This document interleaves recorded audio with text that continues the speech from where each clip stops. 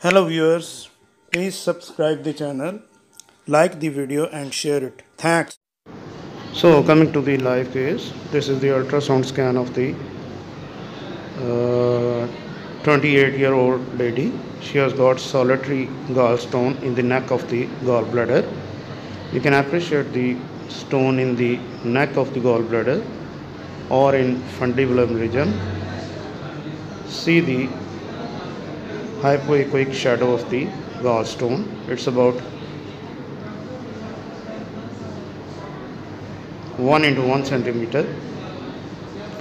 See the liver span in the midclavicular line, craniocaudal measurement of the liver.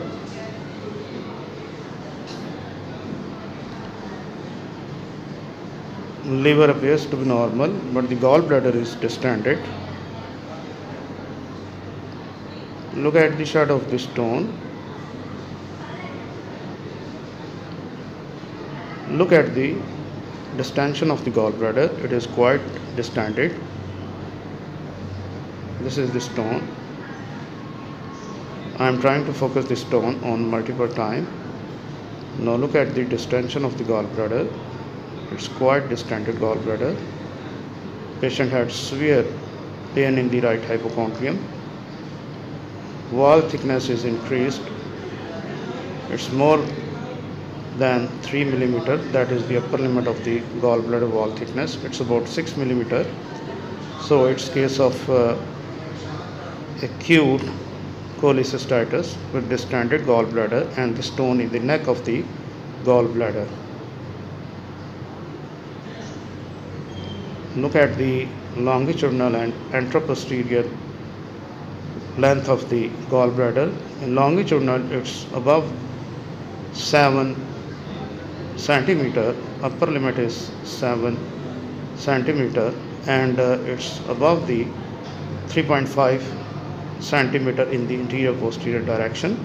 So there is quite increase in the distension of the gallbladder.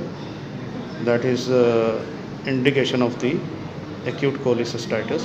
This is the spleen. So again you can see the stone and its shadow that is hypoechoic shadow of the gallstone in the neck or the infundibular region of the gallbladder. I am trying to focus on the portal vein and the CBD they appears to be normal and there is no dilatation of the CBD normal portal vein diameter is up to 14 to 15 millimeter. It's about 9 millimeter in this case.